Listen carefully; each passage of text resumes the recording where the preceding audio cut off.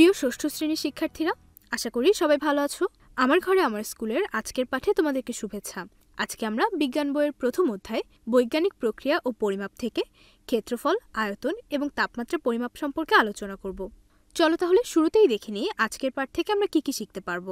আজকের পাঠ শেষে আমরা বিভিন্ন বস্তুর ক্ষেত্রফল পরিমাপ করতে পারব, বিভিন্ন আকারের কঠিন পদার্থের আয়তন পরিমাপ করতে পারব তরল পদার্থের আয়তন পরিমাপ করতে পারব এবং তাপমাত্রা পরিমাপ করতে পারব। চলো তাহলে শুরু করা যাক। দেখো, এখানে একটি টেবিল আছে আর এখানে আছে একটি বই। এখন একটু চিন্তা করে দেখো তো, এই বইটির সমান কতগুলো বই দিয়ে টেবিলের উপরের সম্পূর্ণ অংশ ঢেকে দেওয়া যাবে? একটু ভেবে দেখো তো, এটা আসলে কীভাবে বের করা যায়? তোমরা হয়তো ভাবছ যে এরকম অনেকগুলো বই এনে টেবিলের উপরের অংশে যদি এভাবে পাশাপাশি সাজিয়ে রাখা যায়, তাহলে পুরো টেবিলটি ঢেকে ফেলতে কতগুলো বই লাগবে তা গুনে বের করা যাবে। হ্যাঁ সেটা করা যায়। কিন্তু যদি এমন হয় যে এরকম ছোট টেবিল না বলে তোমাকে বলা হলো, তোমার ঘরের সম্পূর্ণ মেঝে এভাবে বই দিয়ে ঢেকে দিতে হবে এবং ঢেকে দিতে কতগুলো বই লাগবে তা তোমার দেখতে হবে। তখন কিন্তু এভাবে একটি একটি করে বই রেখে হিসাব করা বেশ কঠিন হয়ে যাবে। তাহলে সেক্ষেত্রে আমরা কি করতে পারি? আসলে এই যে টেবিলের উপরিভাগ, ঘরের মেঝে, এগুলো হলো এক একটি তল। এরকম কোনো তল পরিমাপ করতে হলে আমাদের সে তলগুলোর ক্ষেত্রফল পরিমাপ করতে হয়। ক্ষেত্রফল পরিমাপ করে টেবিলের উপরিভাগ বা ঘরের মেঝে বা এ ধরনের যে কোনো তল কতটুকু স্থান দখল করে আছে তা জানা যায়। কিন্তু এই ক্ষেত্রফল কীভাবে পরিমাপ করা যায়? আমরা এখন সেই বিষয়টি বোঝার চেষ্টা করব। মনে করো এটি হলো তোমার টেবিলের উপরিভাগ আর এটি হলো বইটি। তুমি এভাবে অনেকগুলো বই পাশাপাশি সাজিয়ে রেখে দেখার চেষ্টা করছ যে টেবিলের উপরিভাগে এরকম কতগুলো বই রাখা যাবে। মনে করো তুমি এই কিনারা বরাবর বইগুলো সাজিয়ে রাখলে, আবার এই কিনারা বরাবর বইগুলো সাজিয়ে রাখলে। এখন দেখো, টেবিলের এই তলের পুরো পরিমাপ জানতে হলে শুধু এই কিনারা বরাবর বইগুলো সাজিয়ে রাখলেই হবে না, বরং পুরো টেবিলের উপরেই বইগুলোকে এভাবে সাজিয়ে রাখতে হবে। অর্থাৎ মোট কতগুলো বই দিয়ে এই টেবিলের উপরিভাগ ঢাকা যাবে সেটাই আমরা দেখতে চাচ্ছি। এখন দেখো, এভাবে সাজানোর পরে তুমি যদি টেবিলের প্রতিটি পাশের দৈর্ঘ্য মেপে যোগ করো, তাহলে এর সবগুলো পাশের মোট দৈর্ঘ্য জানা যাবে। অর্থাৎ এভাবে যদি তুমি বইগুলোকে সাজাও, তাহলে টেবিলের কিনার বরাবর এর মাপ কত তা জানা যাবে। কিন্তু আমরা পুরো টেবিলের এই তল কতটুকু জায়গা দখল করে সেটা জানতে চাই। তার মানে আমাদের এই সম্পূর্ণ মাপই জানতে হবে। এখন মনে করো এই বইয়ের সবগুলো বাহুর দৈর্ঘ্যই সমান। এখন আমি যদি মেপে দেখি তাহলে টেবিলের উপরের তলে কতগুলো বই রাখা যাবে? দেখো, টেবিলের এই কিনারা বরাবর রাখা গেছে পাঁচটি বই। আবার এই কিনারা বরাবর রাখা গেছে তিনটি বই। তাহলে সম্পূর্ণ জায়গা ভরতে কতগুলো বই রাখা যাবে? দেখো, এই বরাবর আরও তিনটি বই রাখা যাবে।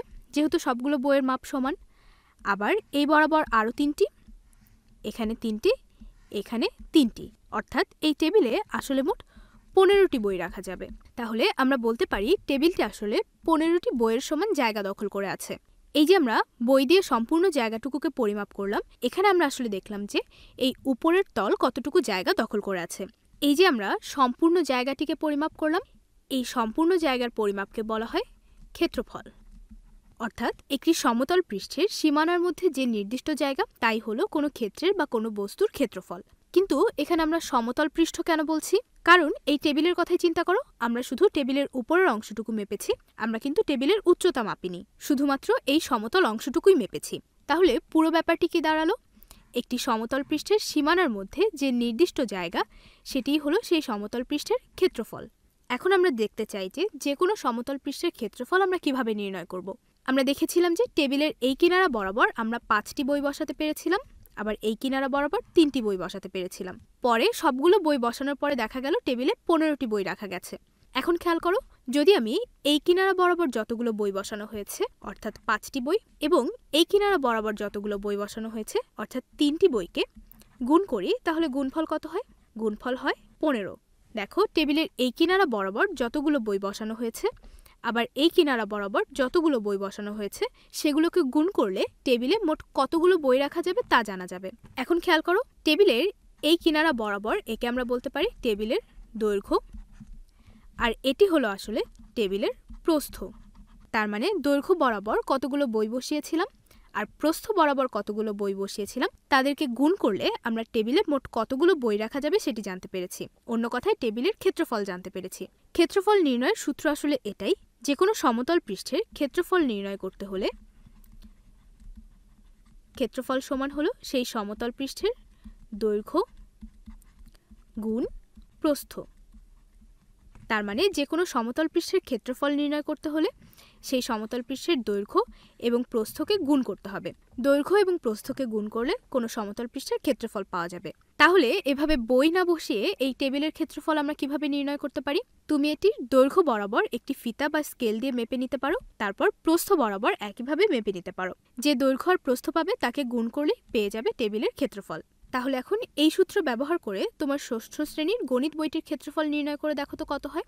দেখো, এটি হলো আমাদের ষষ্ঠ শ্রেণির গণিত বই আর এটি হলো জ্যামিতি বক্স। ছবি দেখেই বোঝা যাচ্ছে যে গণিত বইটি জ্যামিতি বক্সের চেয়ে বেশি জায়গা দখল করে আছে। আমরা সাধারণত বলি যে এই বইয়ের আয়তন জ্যামিতি বক্সের চেয়ে বেশি।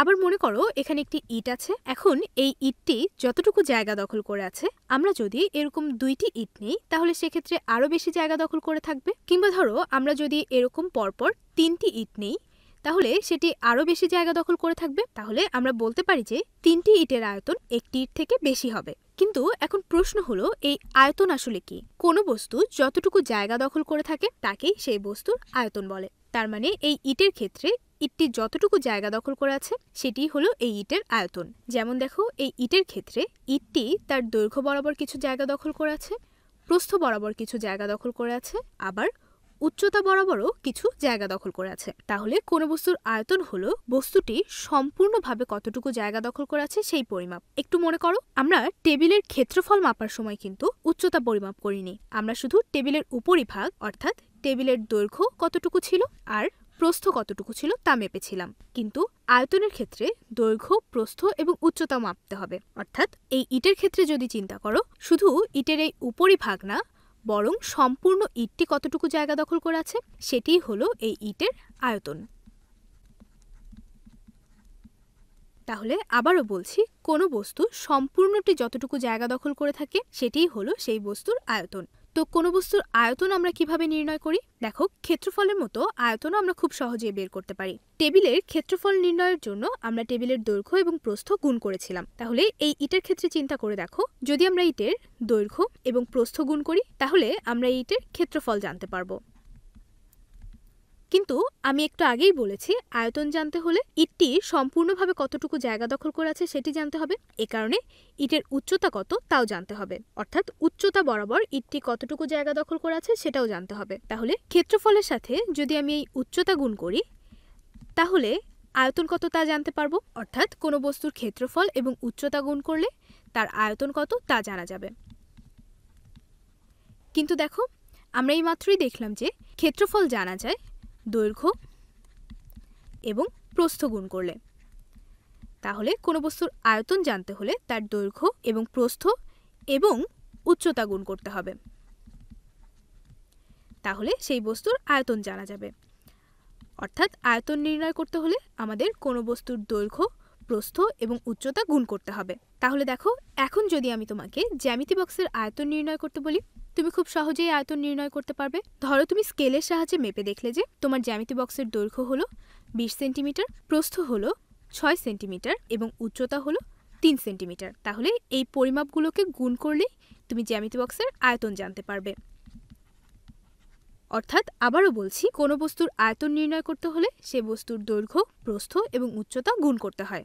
এখন দেখো, এতক্ষণ আমরা যেসব বস্তু নিয়ে আলোচনা করলাম, যেমন টেবিল বই, জ্যামিতি বক্স, ইট, এই সবগুলো বস্তুর আকৃতি কিন্তু একই ধরনের। সহজেই আমরা এদের দৈর্ঘ্য, প্রস্থ এবং উচ্চতা পরিমাপ করতে পারি। এ ধরনের আকৃতির বস্তুগুলোকে বলা হয় সুষম আকৃতির বস্তু। তাহলে বই জ্যামিতি বক্স, ইট, এই বস্তুগুলোর আকৃতি সুষম বলেই আমরা সহজেই এদের দৈর্ঘ্য, প্রস্থ এবং উচ্চতা মেপে এদের আয়তন নির্ণয় করতে পারি। কিন্তু যদি আমাদেরকে এই ছোট বলগুলোর আয়তন মাপতে বলা হয় কিংবা এই পাথরের টুকরোগুলোর আয়তন নির্ণয় করতে বলা হয়, সেক্ষেত্রে আমরা কি করব? একটু চিন্তা করে দেখো তো কোনো উপায় বের করতে পারো কিনা? দেখো, এই পাথরের টুকরোর ক্ষেত্রে আমরা কিন্তু এর দৈর্ঘ্য, প্রস্থ বা উচ্চতা মাপতে পারি না। দেখো, এই পাথরের টুকরোর আকৃতি কিন্তু সুষম নয়। এ কারণে আমরা এর দৈর্ঘ্য, প্রস্থ, উচ্চতা মেপে আয়তন নির্ণয় করতে পারি না। কিন্তু আমরা একটু আগেই দেখেছি যে কোনো কিছুর আয়তন নির্ণয় করতে হলে তার দৈর্ঘ্য, প্রস্থ, উচ্চতা মাপতে হয়। তাহলে এ ধরনের বস্তু যেগুলোর দৈর্ঘ্য, প্রস্থ, উচ্চতা আমরা নির্ণয় করতে পারি না, সেগুলোর আয়তন আমরা কীভাবে নির্ণয় করব? আচ্ছা আমি একটি পদ্ধতি বলে দিচ্ছি। এই পদ্ধতিতে আমরা যে কোনো অসম কঠিন পদার্থের আয়তন নির্ণয় করতে পারি। অসম কঠিন পদার্থ বলতে কি বোঝাচ্ছি? দেখো, এই বল কিংবা এই পাথর, এগুলো হলো অসম কঠিন পদার্থ বা এগুলো হলো অসম আকৃতির কঠিন পদার্থ। তার মানে সরাসরি এদের দৈর্ঘ্য, প্রস্থ, উচ্চতা পরিমাপ করা যায় না। তো কোনো অসম আকৃতির কঠিন পদার্থের আয়তন নির্ণয় করতে হলে প্রথমে এরকম মাপচুঙে কিছু পানি নিয়ে সেটির পাঠ নিতে হবে। যেমন দেখো, এখানে পানি আছে ত্রিশ একক। এখন মনে করো আমরা এই পাথরের টুকরোর আয়তন নির্ণয় করতে চাই। এরকম যে অসম বস্তুর আয়তন নির্ণয় করতে চাই? যেমন এই পাথরটি, সেটি সুতা দিয়ে বেঁধে এই পানির মধ্যে ডুবিয়ে দিতে হবে। তারপর আবারও পানির পাঠ নিতে হবে। দেখো, এই ছবিতে দেখো, পাথরটি সুতা দিয়ে বেঁধে ডুবানোর পরে এই পানির আয়তন হয়েছে চল্লিশ একক। দেখো, এখানে কিন্তু আমরা আলাদা করে কোনো পানি যোগ করিনি। এই পাথরের টুকরোটি সুতো দিয়ে বেঁধে এই মাপচঙের ভেতরে ফেলার কারণে পানির আয়তনের পাঠ বেশি দেখা যাচ্ছে। কেন বলো তো, কি মনে হয় তোমাদের? তার কারণ হলো, এখানে আগে যতটুকু পানি ছিল, এখনও ততটুকুই পানি আছে। শুধু পানির আয়তনের সাথে এই পাথরের আয়তন এখানে যুক্ত হয়েছে। এ কারণে এই পাঠের পরিবর্তন হয়েছে। তাহলে পাথরের আয়তন আমরা কীভাবে নির্ণয় করব? পাথরের টুকরোটি পানিতে ফেলার পরে পানির যে পাঠ পাওয়া যাবে, তা থেকে আগের পাঠকে বিয়োগ করলেই পাথরের টুকরোর আয়তন কত তা জানা যাবে। অর্থাৎ এক্ষেত্রে পাথরের টুকরো ফেলার পরে পাঠ হলো চল্লিশ আর আগে ছিল পাঠ ত্রিশ। তাহলে চল্লিশ থেকে ত্রিশ বিয়োগ করলে যে দশ একক থাকবে, এটিই হলো এই পাথরের আয়তন। তার মানে দেখো, এখানে আসলে পানির আয়তনের সাথে পাথরের টুকরোর আয়তন যোগ হওয়ার ফলে এই পাঠের পরিবর্তন হয়েছিল। তাহলে এ থেকে আমরা যদি পানির আয়তন বিয়োগ করি, তাহলেই যে অতিরিক্ত আয়তন সেটি পেয়ে যাব, অর্থাৎ পাথরের আয়তন পেয়ে যাব। এভাবে আমরা যে কোনো অসম কঠিন বস্তুর আয়তন নির্ণয় করতে পারি। তাহলে আবারও বলছি দেখো, যখন আমরা কোনো সুষম কঠিন বস্তুর আয়তন নির্ণয় করি, তখন আমরা সে বস্তুর দৈর্ঘ্য, প্রস্থ এবং উচ্চতা গুণ করি। কিন্তু যখন আমাদের কোনো অসম কঠিন বস্তুর আয়তন নির্ণয় করতে হয়, যার দৈর্ঘ্য, প্রস্থ বা উচ্চতা মাপা যায় না, তখন আমরা এই পদ্ধতিতে মাপতে পারি। প্রথমে একটি মাপচং নিতে হবে, সেখানে একটি নির্দিষ্ট পরিমাপের পানি নিতে হবে এবং পানির পাট আমাদের জানতে হবে। তারপর যে অসম বস্তুর আয়তন পরিমাপ করতে চাই, যেমন এই পাথরের টুকরো বা ছোট বল, সেগুলোকে সুতো দিয়ে বেঁধে এই পানির মধ্যে ফেলতে হবে। এগুলো পানিতে ফেলার পরে যে নতুন পাট পাওয়া যাবে, সেটি আমাদের জানতে হবে। এই নতুন পাঠের মধ্যে আসলে এই পানির আয়তনও আছে আবার যে অসম কঠিন বস্তুর আয়তন পরিমাপ করছি, তার আয়তনও আছে। এ কারণে এই আয়তন থেকে পানির আয়তন বাদ দিলেই আমরা এই অসম কঠিন বস্তুর আয়তন নির্ণয় করতে পারব। আচ্ছা আমরা তো এতক্ষণ কঠিন পদার্থের আয়তন নির্ণয় করা শিখলাম। আমরা সুষম কঠিন পদার্থের আয়তন নির্ণয় করা শিখেছি, আবার অসম কঠিন পদার্থের আয়তন নির্ণয় করাও শিখেছি। কিন্তু তরল পদার্থের আয়তন কীভাবে নির্ণয় করব, সেটা কি কখনো চিন্তা করে দেখেছ?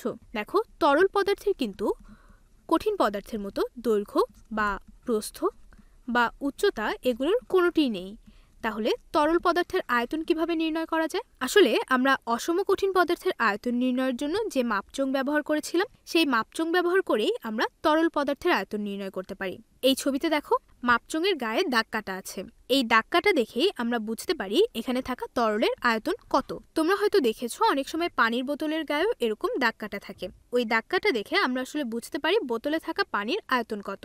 আমরা তো এতক্ষণ সুষম কঠিন বস্তু, অসম কঠিন বস্তু এবং তরল পদার্থের আয়তন পরিমাপ করা শিখলাম। কিন্তু আয়তন পরিমাপের একক কি? এখন আমরা সে সম্পর্কে আলোচনা করব। আন্তর্জাতিক পদ্ধতিতে আয়তন পরিমাপের একক হলো ঘনমিটার। কিন্তু ঘনমিটার বলতে আসলে কি বোঝায়? দেখো, এখানে তোমরা একটি ঘনবস্তু দেখতে পাচ্ছ। দেখো, এখানে তোমরা একটি সুষম কঠিন বস্তু দেখতে পাচ্ছ। এর একটি দৈর্ঘ্য আছে, ধরো এর দৈর্ঘ্য হলো এক মিটার। এর একটি নির্দিষ্ট প্রস্থ আছে, ধরো এই বস্তুর প্রস্থ হলো এক মিটার, আবার এর নির্দিষ্ট উচ্চতাও আছে, ধরো এর উচ্চতাও হলো এক মিটার। আন্তর্জাতিক পদ্ধতি অনুসারে এক মিটার দৈর্ঘ্য, এক মিটার প্রস্থ এবং এক মিটার উচ্চতার কোনো একটি বস্তু যতটুকু জায়গা দখল করে, সেটিই হলো এক ঘনমিটার। অর্থাৎ এই বস্তুটি এক ঘনমিটার জায়গা দখল করে আছে। আর ঘনমিটার হলো আয়তনের আন্তর্জাতিক একক। তাহলে আমরা বলতে পারি এক ঘনমিটার সমান হলো এক মিটার দৈর্ঘ্য গুণ এক মিটার প্রস্থ গুণ এক মিটার উচ্চতা। সিজিএস পদ্ধতিতে আয়তনের একক হলো ঘন সেন্টিমিটার। ঘন সেন্টিমিটার। এই ঘন সেন্টিমিটারের ইংরেজি হল কিউবিক সেন্টিমিটার। Cubic centimetre. একে সংক্ষেপে সিসি বলা হয়।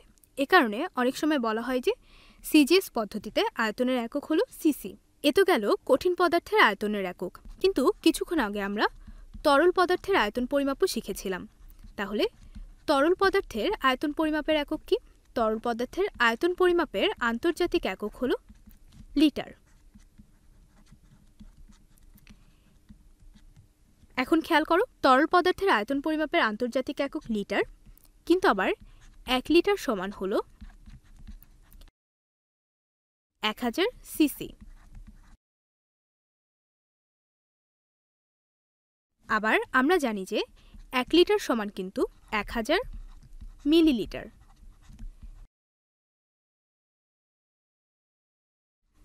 তাহলে দেখো, এক হাজার মিলিলিটার সমান হলো এক লিটার সমান এক হাজার সিসি। সুতরাং আমরা বলতে পারি যে এক মিলিলিটার সমান হলো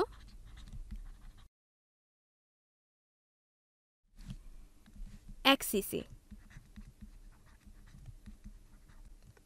তাহলে দেখো, এতক্ষণ আমরা কি কি দেখলাম? আমরা দেখলাম যে কঠিন পদার্থের আয়তন পরিমাপের আন্তর্জাতিক একক হলো ঘনমিটার। আবার সিজিএস পদ্ধতিতে আয়তন পরিমাপের একক হলো ঘন সেন্টিমিটার, যাকে আবার ইংরেজিতে অনেক সময় সিসি বলা হয়। তারপর আমরা দেখলাম যে তরল পদার্থের আয়তন পরিমাপের একক হলো লিটার। আবার আমরা দেখলাম যে এক মিলিলিটার সমান হলো এক সিসি। এখন তাহলে চলো দেখি এতক্ষণ আমরা যা আলোচনা করলাম তা থেকে তোমাদের কতটুকু মনে আছে?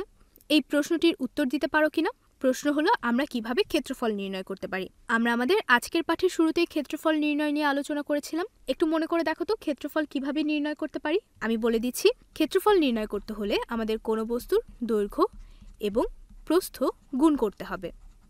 আশা করি আমার আগেই তোমরা বুঝতে পেরেছিলে ক্ষেত্রফল কীভাবে নির্ণয় করা যায়। তারপর দেখো, কোনো সুষম কঠিন পদার্থের আয়তন নির্ণয়ের সূত্র কি? সুষম কঠিন পদার্থ কোনগুলো ছিল? জ্যামিতি বক্স, বই বা ইটের মতো কঠিন পদার্থগুলোকে আমরা সুষম কঠিন পদার্থ বলেছি। এগুলোর আয়তন আমরা কীভাবে নির্ণয় করেছিলাম? একটু মনে করে দেখো। সুষম কঠিন পদার্থের আয়তন নির্ণয়ের সূত্র হলো দৈর্ঘ্য গুণ প্রস্থ গুণ উচ্চতা। কোনো সুষম কঠিন পদার্থের দৈর্ঘ্য, প্রস্থ এবং উচ্চতা গুণ করলে সেই কঠিন পদার্থের আয়তন নির্ণয় করা যাবে। সুতরাং আয়তন নির্ণয়ের সূত্র হলো দৈর্ঘ্য গুণ প্রস্থ গুণ উচ্চতা তারপর দেখো, তরল পদার্থের আয়তন পরিমাপের একক কি? আমরা এই মাত্রই তরল পদার্থের আয়তন পরিমাপের একক নিয়ে আলোচনা করলাম। একটু মনে করে দেখো তো, কি ছিল? আমি বলছি, তরল পদার্থের আয়তন পরিমাপের একক হলো লিটার। আশা করি তোমরা কোনো পদার্থের আয়তন নির্ণয় সম্পর্কে বিভিন্ন বিষয় জানতে পেরেছ। তাপমাত্রা শব্দটির সাথে কি আমরা পরিচিত? একটু চিন্তা করে দেখো তো। আমাদের বাসায় যখন কারও জ্বর হয়, তখন আমরা কি করি? আমরা থার্মোমিটার ব্যবহার করে জ্বর মাপি। দেখো এখানে তোমরা থার্মোমিটারের ছবি দেখতে পাচ্ছ। আসলে থার্মোমিটার ব্যবহার করে জ্বর মাপার অর্থ হলো আসলে থার্মোমিটার দিয়ে শরীরের তাপমাত্রা পরিমাপ করা। আমরা জ্বর হলে আমাদের শরীরের তাপমাত্রা পরিমাপ করি, আর সেটি করি থার্মোমিটার দিয়ে। শরীরের তাপমাত্রা স্বাভাবিকের চেয়ে বেশি হলেই আমরা বলি যে জ্বর আছে। আবার টেলিভিশনের খবরে আমরা সবসময় শুনে থাকি আজকের তাপমাত্রা কত ডিগ্রি। কখনো তাপমাত্রা বেশি থাকে, তখন আমরা বলি যে বেশি গরম পড়েছে। আবার কখনো তাপমাত্রা কম থাকে, তখন আমরা বলি যে ঠান্ডা পড়েছে। তার মানে তাপমাত্রা হলো আসলে সহজ কথায় গরম বা ঠান্ডা কতটুকু তার পরিমাপ। তাপমাত্রা পরিমাপ করতে আমরা ব্যবহার করি থার্মোমিটার। তোমরা হয়তো কখনো কখনো থার্মোমিটার দেখেছ, অনেকের বাসায়ও হয়তো আছে। শরীরের তাপমাত্রা মাপতে আমরা এরকম ছোট এক ধরনের থার্মোমিটার ব্যবহার করি, আর বাইরের তাপমাত্রা মাপতে আমরা এরকম বড় থার্মোমিটার ব্যবহার করি। তো এই তাপমাত্রা পরিমাপের একক কি? তাপমাত্রা পরিমাপের আন্তর্জাতিক একক হল কেলভিন। কিন্তু আমরা সাধারণভাবে জ্বর নির্ণয় করতে এবং বাইরের পরিবেশের তাপমাত্রা মাপতে কেলভিন একক ব্যবহার করি না, অন্য একক ব্যবহার করি। এসব ক্ষেত্রে সাধারণত আমরা সেলসিয়াস এবং ফারেনহাইট একক ব্যবহার করি।